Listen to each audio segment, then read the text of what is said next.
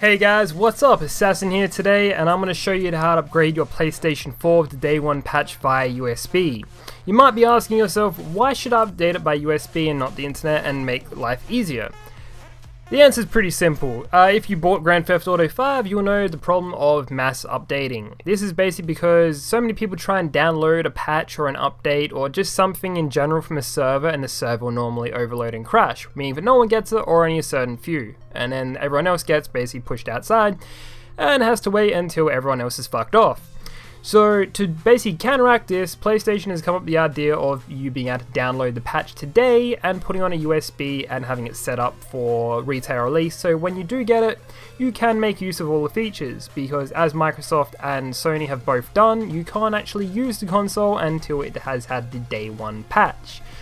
So what we're going to do today is you're going to follow my steps. You're going to have a USB, hopefully like one gigabyte. The actual patch is only like 300 megabytes. I'll put the link in the description below.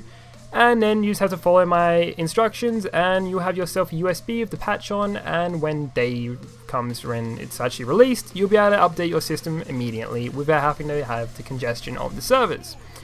So with all that in mind, if you haven't already skipped the video, because I've probably put something in the beginning to skip all the talk if you're already here for the right reasons, um, don't forget to give me a like, sub, all that crap. It's always good to have all that. Anyway, let's get straight into the steps. For the first step, all you need to do is plug your USB into the computer and make two subdirectories. The first one being PS4 labeled all in capitals and then update as the second subdirectory. These all need to be in capitals so you'll be able to put the file in there and it'll be read correctly by the PlayStation itself. For the second step, what you need to do is to head over to the Sony site and download patch 1.5 for the PlayStation. Upon downloading, it'll be about 307 megabytes, and you need to save it as a PS4 update.pup file. These all need to be in capitals so the console can actually read it when it's actually loading up the USB files.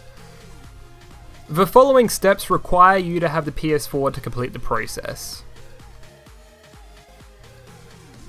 Now that we have everything set up to update the PlayStation 4, what we need to do is plug in the USB into the PlayStation 4 which has the update file on it. From a completely powered off state, you need to hold in the power button for 7 seconds to boot the PlayStation 4 into safe mode.